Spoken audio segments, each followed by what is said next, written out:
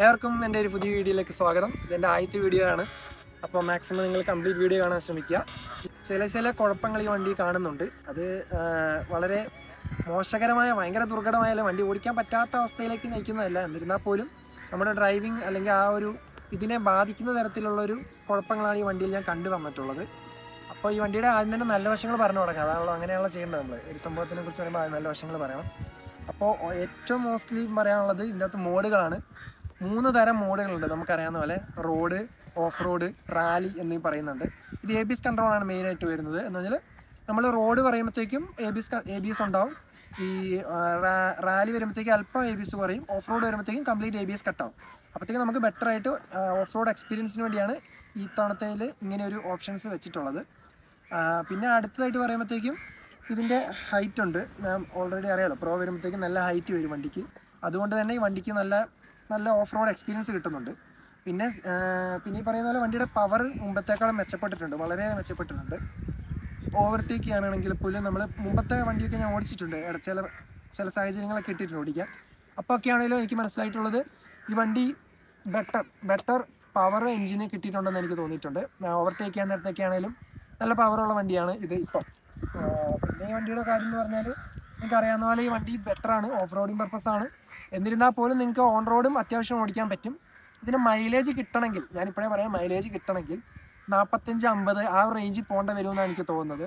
പക്ഷേ ഈ കമ്പനി പറയുന്ന പോലെ മൈലേജ് മാത്രം നോക്കി കഴിഞ്ഞാൽ ആ ശരിക്കും ഇതിന്റെ പർപ്പസ് ഓഫ് റോഡാണ് എന്നിരുന്നാൽ കൂടി ഓൺ റോഡ് പോകാമെന്നതിനാൽ മൈലേജ് അത്ര എക്സ്പെക്ട് ചെയ്താൽ മതി. അല്ലെങ്കിൽ ഫോർട്ടി ഫോർട്ടി ഫൈവ് ഫിഫ്റ്റിയിൽ പോയാൽ മതി എന്ന് പറയുന്നത് തെറ്റില്ല.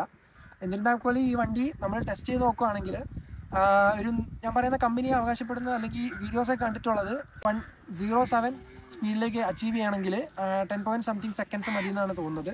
അപ്പോൾ അത്രയും പവർ ഉണ്ട്. പക്ഷേ നമുക്ക് ഈ പറയുന്ന പോലെ മൈലേജ് കിട്ടണമെങ്കിൽ ഫോർട്ടി ഫൈവ് ഫിഫ്റ്റി പോയാലേ പറ്റുള്ളൂ.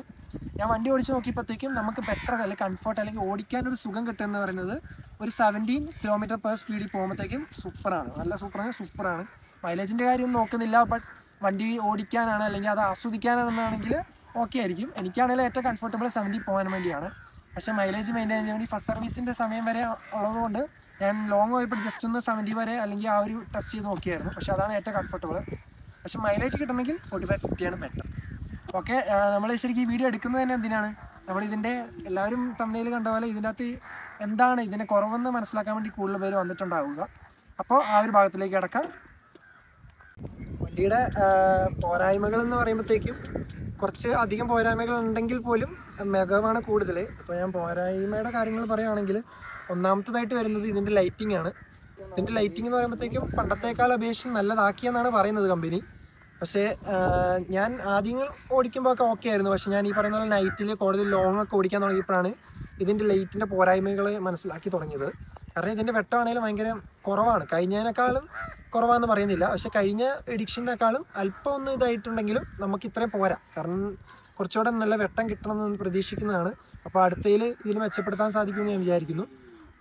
പിന്നെ രണ്ടാമതായിട്ടുള്ള ഒരു കാര്യം പറയുകയാണെങ്കിൽ ഇതിന്റെ ഗിയറിംഗ് ആണ്. ഗിയറിന്റെ ഡൗൺ ചെയ്യുമ്പോഴത്തേക്കും ഈ ഫോ ഞാൻ എക്സ്പീരിയൻസ് ചെയ്ത് ഫോർത്തിൽ നിന്ന് തേർഡിലേക്കൊക്കെ ആക്കുമ്പോഴത്തേക്കും ഈ പിൻ പോയിന്റിൽ നിന്നൊക്കെയാണ് കൂടുതൽ ഞാൻ അനുഭവിച്ചിട്ടുള്ളത്. അതായത് ഈ പിൻ പോയിന്റ് ഒക്കെ വളയാൻ നേരത്ത് നിന്ന് തേർഡിലേക്ക് ആക്കുമ്പോൾ സംഭവം ഗിയർ എവിടെ ഇല്ലാത്ത പോലെ കിടക്കും. അപ്പോഴത്തേക്ക് പിന്നെ ന്യൂട്രാവും പിന്നെ ഫ്രണ്ടിലേക്കും ഇല്ല ബാക്കിലേക്കും ഇല്ല. പിന്നെ പിടിച്ച് വിട്ട് പിടിച്ച് വിട്ട് ഏതോ ഒരു ഘട്ടം നമ്മുടെ കിട്ടുന്നത് പക്ഷേ അതൊക്കെ ഭയങ്കര ഡേഞ്ചറസ് ആയിട്ട് എനിക്ക് തോന്നിയിട്ടുള്ളത്. ഒരു പക്ഷേ ഫസ്റ്റ് സർവീസ് കഴിയുമ്പോഴത്തേക്ക് അത് ഓക്കെ ആകുമെന്ന് പ്രതീക്ഷിക്കുന്നു. പിന്നെ മൂന്നാമത്തെ ഒരു കംപ്ലൈന്റ് എന്ന് പറയുമ്പോൾ ഇതിന്റെ ടിക് ടിക് ഗിയർ നമ്മൾ താത്തുമ്പോഴും താത്തുമ്പോഴാണ് കൂടുതലും എക്സ്പീരിയൻസ് വരുള്ളൂ പൊക്കുമ്പോൾ അധികം സീനില്ല ഗിയർ അപ്പ് ചെയ്യുമ്പോൾ കുഴപ്പമില്ല. പക്ഷെ ഡൗൺ ചെയ്യുമ്പോൾ ഭയങ്കര സൗണ്ടാണ് ഭയങ്കര സൗണ്ടാണ് ഗിയർ ഡൗൺ ചെയ്യുന്നത്. പിന്നെ ഈ പറയുന്ന പോലെ ഞാൻ പറഞ്ഞല്ലോ വണ്ടിക്ക് വണ്ടിക്ക് മെയിനായിട്ടുള്ള പോരായ്മകൾ ഇതാണ്. പിന്നെ ഈ പറയുന്ന പോലെ സൈഡ് മിറർ ആണെങ്കിൽ പോലും സൈഡ് മിറർ ഭയങ്കരമായിട്ട് പുറത്തോട്ടാണ്. ഇതിപ്പം ശരിക്കും പറഞ്ഞാൽ ഗാർഡൊക്കെ പ്രൊട്ടക്ട് ചെയ്യാനാണെങ്കിൽ പോലും ഈ സാധനം പെട്ടെന്ന് ഇടി വരും വീണാലൊക്കെ കൂടുതലും. പിന്നെ ഇതിന്റെ തന്നെ ഈ പറയുന്ന പോലെ കവർ ചെയ്യത്തില്ല. നമ്മൾ കൂടുതൽ ഇമേജ് അല്ലെങ്കിൽ ബാക്ക് നമ്മൾ ബാക്കിൽ നിന്ന് കാ- വണ്ടി ഓവർടേക്ക് ചെയ്യുന്നതല്ല വണ്ടി കാണാൻ വേണ്ടിയാണ് ഈ മിറർ പക്ഷേ ഈ വണ്ടിയിൽ ഈ ഗിയറിൽ ഈ പറയുന്ന സൈഡ് മിററിന്റെ അകത്ത് മര്യാദയ്ക്ക് ബാക്കിലുള്ള ഇമേജ് നമുക്ക് പകർത്തിയെടുക്കാൻ പറ്റുന്നില്ല. കാരണം അതിന്റെ ഒരു സ്ട്രക്ചറോ അല്ലെങ്കിൽ അതിന്റെ ഡിസൈന്റെ കുഴപ്പമായിരിക്കും. മേ ബി അത് അടുത്ത എഡിഷന്റെ മാറ്റുവാണെങ്കിൽ നല്ലതായിരിക്കും. ഓക്കെ. പിന്നെ പറയാത്ത ഒരു കാര്യം എന്ന് പറയുന്നത് ഈ വണ്ടിയുടെ സീറ്റിംഗ് ആണ്. സീറ്റിംഗ് ഓക്കെ ആണെന്ന് വെച്ചാൽ ഷോർട്ട് ടേം അല്ലെങ്കിൽ ഷോർട്ട് റൈഡ് ആണെങ്കിൽ ഓക്കെയാണ് പക്ഷെ നമ്മൾ ലോങ് ഒക്കെ പോകുമ്പോഴത്തേക്ക് പ്രശ്നം എന്താണെന്ന് വെച്ചാൽ ഈ പറയുന്ന പോലെ വണ്ടിയുടെ സീറ്റ് ഇരിക്കുന്ന ആൾക്ക് ഭയങ്കര കംഫർട്ടബിൾ ആയിരിക്കില്ല. പിന്നെ പില്ലിലാണെങ്കിലും ഒടുക്കത്തെ ഡിസ്കംഫർട്ട് ആയിരിക്കും. ലോങ് പോകുമ്പോഴാണ് ഈ പ്രശ്നം വരുന്നത്. എനിക്ക് തോന്നുന്ന ഒരു അമ്പത് സ്ട്രെ- ഒരു സ്ട്രെച്ചിലൊക്കെ പോകുമ്പോഴത്തേക്ക് എനിക്ക് ഭയങ്കരമായിട്ട് ഡ്രൈവ് ചെയ്യുമ്പോഴത്തേക്ക് ഭയങ്കര ഡിസ്കംഫർട്ട് ഫീൽ ചെയ്തിട്ടുണ്ട്.